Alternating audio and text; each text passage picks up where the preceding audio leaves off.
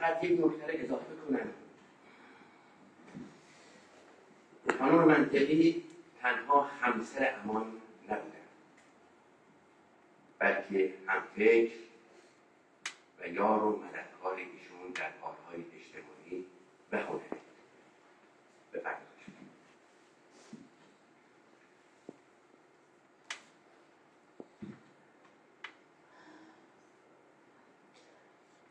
یکی بود. یکی بود غیر از خدا هیچ در سالهای خیلی دور یه دختر بود یه پسر. توی یه روز بهاری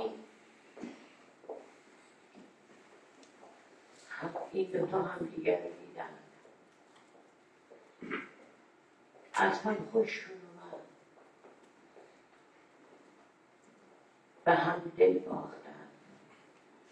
با هم پیمان بستند که یک عمر شریک هم باشن. و بالاخره به هم پیوستن. با هم آشیانی ساختن. با هم مشکلات. جنگیدن در خوشی و ناخوشی. در پیروزی و شکست. در سلامتی و بیماری. یار و یاور زندگی پر از ولی این دو پشت به پشت هم دادند و جنگیدند و جنگیدند و جنگیدند تا اینکه در بیست و شیش هفت سال پیش دشمنی قدار نابکار موزی به سراغشون. یعنی بهشون حمله کرد. این دشمن چیزی جز بیماری قند نبود. هر دو باش جنگیدند. بیست هفت سال جنگیدند. همه توان خودشون رو به کار بردند تا این دشمن رو مغلوب اما دشمن قویتر بود.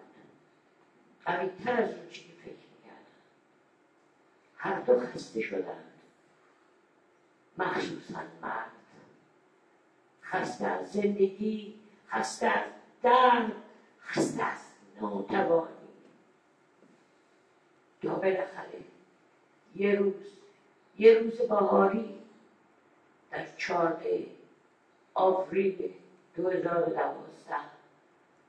خودشون تسلیم کرد. تسلیم این بیماری. و زن تنها با کول باری از غم با کول باری از مشکلات با کول باری از خاطرات. بهار بود و تو بودی و عشق بود و امید. بهار رفت تو رفتی و حج بود. گذشت بالا رفتی دو بود. پایین اومدی. ماس بود. قصه با راست.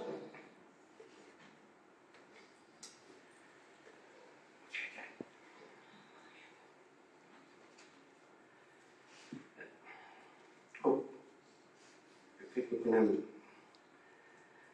یه جاهایی واژه